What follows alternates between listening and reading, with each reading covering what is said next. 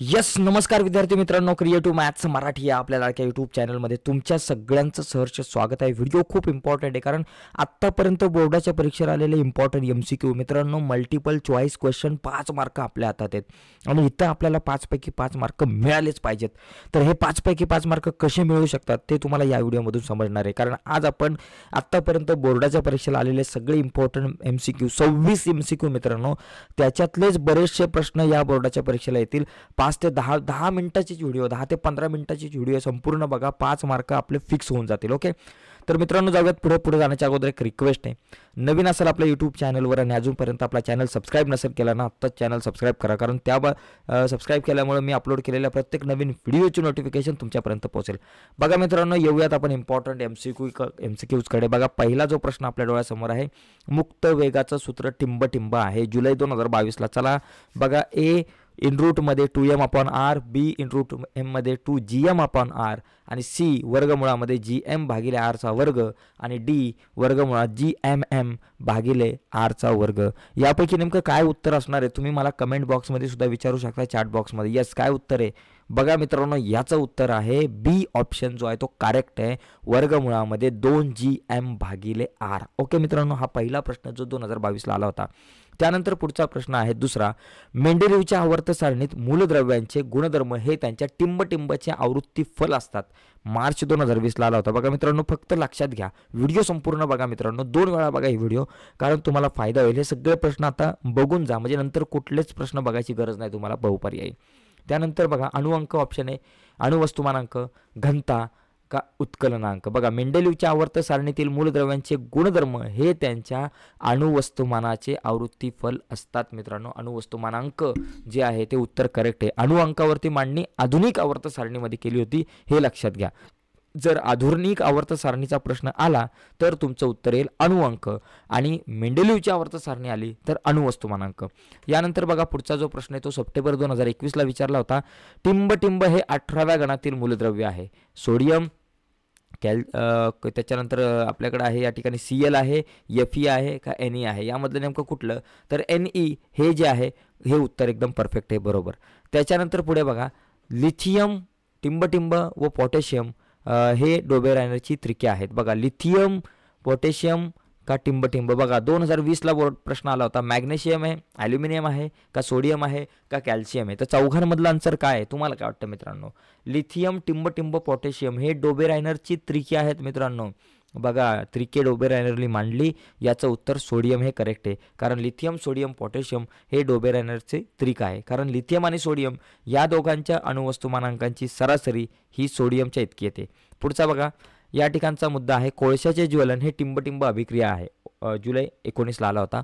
ए संयोग बी विस्थापन सी अपघटन का डी दुहेरी विस्थापन. कोळशाचं ज्वलन ही कोणती अभिक्रिया आहे मित्रांनो? तर ही आहे संयोग अभिक्रिया आहे. ओके एवढं लक्षात ठेवायचं आहे त्यानंतर सहावा प्रश्न आहे नालकुंतलातून विद्युतधारा गेल्यास निर्माण होणाऱ्या चुंबकीय बलरेषांची संरचना नेमकी कशी असते? हे आपल्याला सांगायचं आहे. संरचना टिंबटिंब बलरेषांप्रमाणे असते. जुलै दोन हजार एकोणीसला आला होता. ए पट्टी चुंबकाच्या बी नालाकृती चुंबकाच्या सी चकती चुंबकाच्या का डी गोलाकार चुंबकाच्या. तर मित्रांनो याचं करेक्ट आन्सर काय आहे? तर करेक्ट आन्सर आहे पट्टी चुंबकाच्या. हे आपलं उत्तर बरोबर आहे. ठीक आहे? त्याच्यानंतर सातवा मुद्दा आहे. दाबामुळे बर्फाचे वितळणे. व दाब काढून घेतल्यास त्याचा पुन्हा बर्फ होणे. या प्रक्रियेला काय म्हणतात? दोन हजार एकवीसला आला होता प्रश्न. उत्कलन म्हणतात पुन्हा हिरमायन म्हणतात गोठण म्हणतात का बाष्पीभवन म्हणतात. बघा दाबामुळे बर्फाचं वितळणं आणि दाब काढून गेल्यानंतर घेतल्यानंतर त्याचा पुन्हा बर्फ होणं यांना पुनर्हिमायन म्हणतात. कारण पुन्हा एकदा बर्फ निर्माण होतोय ना त्याच्यामुळं पुनर्हिमायन म्हणतात. ओके? पुढचा मुद्दा आहे. आठवा प्रश्न पाण्याचे तापमान टिंबटिंब अंश सेल्सिअसपेक्षा कमी झाल्यास त्याचे आकारमान वाढते. शून्य अंशपेक्षा कमी झाल्यास चार अंशपेक्षा कमी झाल्यास आठ अंशपेक्षा कमी झाल्यास का बारा अंशपेक्षा कमी झाल्यास? मित्रांनो चार अंशपेक्षा पाण्याचं तापमान जर का कमी झालं तर त्याचं आकारमान जे आहे ते वाढत जातं. ही गोष्ट लक्षात ठेवणं गरजेचं आहे. ओके? त्याच्यानंतर नववा हवेतील पाण्याच्या वाफेचे प्रमाण टिंबटिंब या राशीच्या सहाय्याने मोजले जाते. मार्च दोन हजार वीसला आला होता प्रश्न. निरपेक्ष आर्द्रता सापेक्ष आर्द्रता दवबिंदू तापमान की आर्द्रता? काय आहे उत्तर? तर याचं उत्तर आहे निरपेक्ष आर्द्रता या राशीच्या सहाय्याने आपण हवेतील पाण्याच्या वाफेचं प्रमाण मोजतो. पुढचा मुद्दा आहे दहावा प्रश्न. एक प्रकाश किरण चिपेच्या पृष्ठभागासाठी पृष्ठभागाशी पन्नास अंशाचा कोण करतो? तर त्याचा आपत कोण किती अंशाचा असणार आहे मित्रांनो? पन्नास अंश चाळीस अंश एकशे चाळीस अंश की शून्य अंश? तर मित्रांनो चाळीस अंश. नव्वद वजा पन्नास केले तर चाळीस अंश. आपल्याकडे उत्तर येतं? एक प्रकाश किरण चिपेच्या पृष्ठभागासाठी पन्नास अंशाचा कोण करतो तर त्याचा आपाती कोण हा चाळीस अंशाचा असणार आहे. ठीक आहे? अकरावा प्रश्न. आयच्या एका विशिष्ट मूल्यासाठी आरचे मूल्य नव्वद अंश होते. या आयच्या विशिष्ट मूल्यास टिंबटिंब असे म्हणतात. बघा क्रांतिक कोण विचलन कोण अपवर्तन कोण का निर्गत कोण तर याला मित्रांनो क्रांतिक कोण असं आपण म्हणतो हे लक्षात ठेवणं गरजेचं आहे. ठीक आहे? पुढे बघा बारावा प्रश्न. शुभ्र प्रकाश लोलकावर पडला असता रंग सर्वात कमी वळतो. टिंबटिंब रंग सर्वात कमी वळतो असा प्रश्न आहे बरं का. तर कोणता रंग सर्वात कमी वळतो? लाल निळा पिवळा सॉरी लाल पिवळा जांभळा की निळा? तर मित्रांनो बरोबर उत्तर आहे लाल रंग जो आहे तो सर्वात कमी वळतो. ओके पुढचा बघा तेरावा प्रश्न. पदार्थ माध्यमात प्रकाशाचे आपल्या घटक रंगात पुत्तकरण होण्याच्या प्रक्रियेस प्रकाशाचे टिंबटिंब म्हणतात असं पाहिजे. प्रकाशाचे म्हणतात नाही तर प्रकाशाचे टिंबटिंब म्हणतात. तर काय म्हणतात? अपव परावर्तन अपवर्तन अपस्करण का आंतरिक परावर्तन? तर अपस्करण म्हणतो आपण. पदार्थ माध्यमात प्रकाशाचे आपल्या घटक रंगात पुत्थकरण होण्याच्या प्रक्रियेस प्रकाशाचे टिंबटिंब म्हणतात तर अपस्करण म्हणतात. पुढचा प्रश्न आहे बहिर्गोल भिंगाचे नाभीय अंतर पंचवीस सेमी आहे.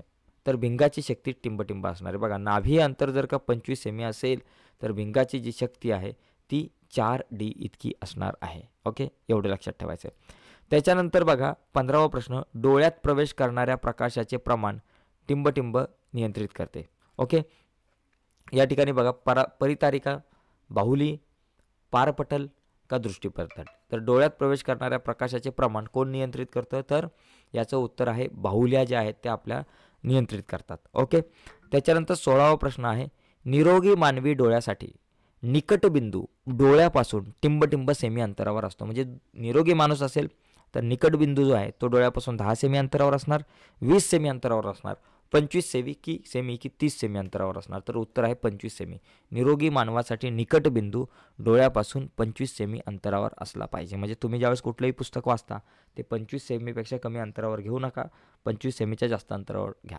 कारण पंचवीस सेमीपासून कमी अंतरावर असलं की कदाचित वाचताना अडचण निर्माण होते. पुढे बघा सतरा नंबरचा प्रश्न. सोने विलेपित दारिगिने हे टिंबटिंबचं उदाहरण आहे. बावीस दोन हजारला आला होता. सॉरी मार्च दोन हजार बावीसला प्रश्न आला होता की विद्युत विलेपन संमिश्रीकरण धनाग्रीकरण की जास्त विलेपन. तर याचं उत्तर मित्रांनो आहे विद्युत विलेपनाचं हे एक उदाहरण आहे. सतरा नंतर अठरा नंबरचा प्रश्न आहे. लोखंडाचे पत्रे गंजू नयेत म्हणून त्यावर टिंबटिंब धातूचा थर दिला जातो.